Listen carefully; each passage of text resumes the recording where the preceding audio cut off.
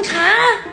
ยังไง โอ้โหยังไง เฮ้ยยังไง คุณว่าปีนี้คุณแจกโบนัสขนาดนี้เลยเหรอ ครับผมนี่คือแค่ระดับเดียวนะทุกคนรู้ป่ะเท่าไหร่เท่าไหร่จ้าดานสิบเก้าล้าน อันนี้คือแค่ระดับเดียวแล้วถ้าเกิดทั้งหมดอะคือระดับเท่าไหร่ยี่สิบกว่าล้านครับยี่สิบกว่าล้าน อันนี้กี่เดือนหกเดือนหกเดือน จะตะโกนทำไม ตื่นเต้นแทนทุกคนอะใช่อันนี้บอกเลยนะว่าหลายคนอะถามจับมาว่า เฮ้ยไม่แจกแบบบ้าน รถหรือว่า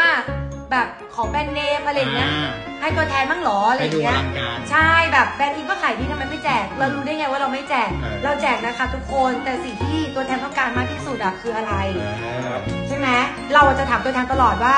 อยากได้อะไรมากที่สุดอืมถ้าเกิดว่าแบบเหมือนเป็นการตอบแทนอะไรเงี้ยที่แบบทุกคนเหนื่อยขายของกันมาอืมบางคนบอกว่าอยากผ่อนบ้าน บางคนบอกอยากผ่อนรถอืมบางคนบอกว่าจ่ายค่าเทอมลูกอืมไปใช้หนี้ออกมอเตอร์ไซค์จ่ายค่ารักษาพ่อแม่อะไรอย่างเงี้ยเราก็เลยสรุปกันแล้วว่าสิ่งที่ตัวแทนต้องการมากที่สุดก็คือเงินนั่นเองนะคะ เรายอมที่จะไม่เอาเขาเลยกนะเอาภาพเนาะครับภาพการตลาดของเราอะไรเงี้ยแต่เราอยากที่จะเพิ่มความสุข ให้ตัวแทนมากที่สุดนะคะ เพราะว่าการที่เรามีวันนี้ได้เพราะใครก็เพราะตัวแทน เพราะฉะนั้นแล้วคนที่เราคนที่จะตอบแทนมากที่สุดและใส่ใจมากที่สุดก็คือใคร